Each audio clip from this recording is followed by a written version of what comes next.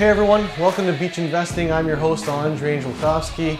We're here with a guest, uh, Will Burgess. How How's are it you? going? I'm doing well, thanks. Good. We, uh, Will, we are standing in one of Will's investment properties, and Will has just purchased this uh, triplex in East York, Toronto. It is uh, the Toronto lockdown. The world pandemic is on right now, and uh, it's there's a lot going on and a lot of uncertainty, a lot of fears. A lot of things are happening with very little uh, explanation or reason behind it that we can kind of justify. Yeah. One of those things is the real estate rental market in Toronto has taken a strong hit. And someone like Will, who's an investor who would come in and want to buy a, an income property in today's market with real estate values at all time high, and but real estate rental values at a three or four year low, Yeah. you really have to come in with some courage or some bravery to kind of say, you know what, I'm going to take the risk to do this because I believe the rental market or the real estate market in total will bounce back, will rebound. Yeah. So you did take this chance. You bought this property during the heart of the Toronto lockdown.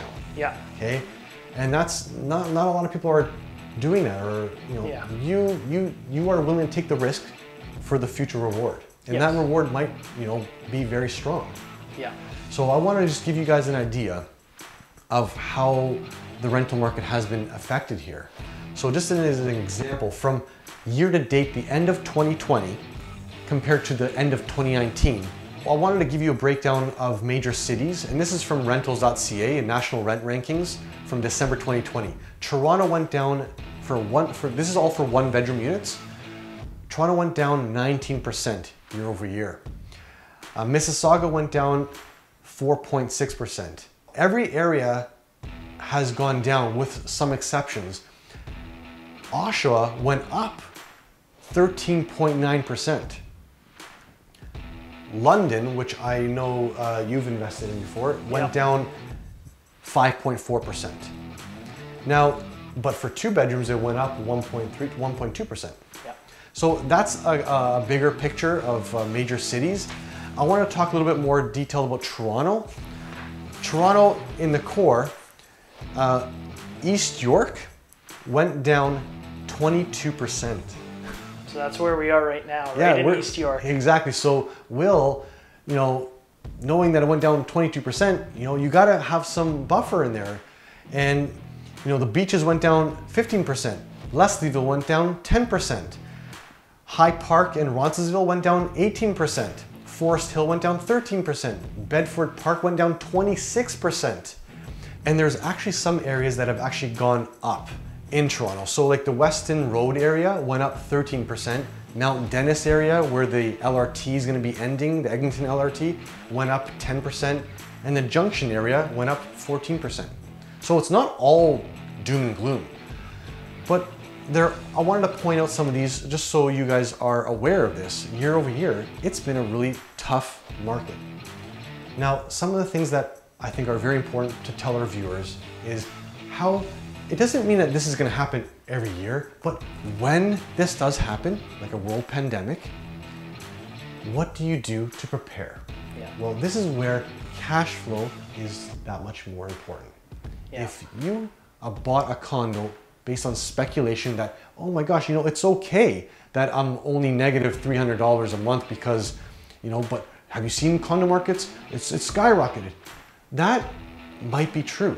But what happens when there is a recession or when there is a world pandemic that we're in right now, where prices have gone down by 20% in rental values? Yeah. That on a $2,000 a month condo, that's $400. Yeah. It's quite substantial. It can be for the cash flow. Well, yeah, if you're already down by $300 and that's an extra $400, that's $700 of negative cash flow. How many of those can you afford? Yeah. Not Well, many.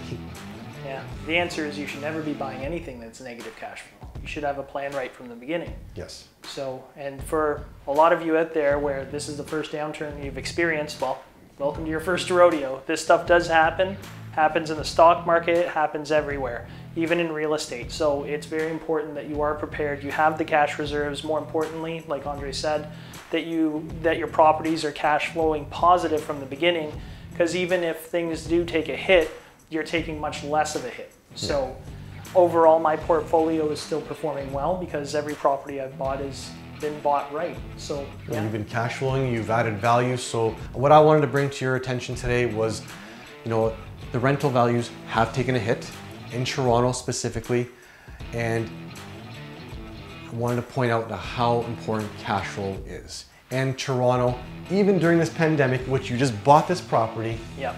Will this property cash flow? Yeah, when everything's done, we're still going to be looking to cash flow anywhere between five hundred to fifteen hundred dollars a month. And that's during COVID numbers. Those yeah, are the those are COVID rates. numbers. So when things turn around, we're looking at upwards of thirty-five hundred dollars.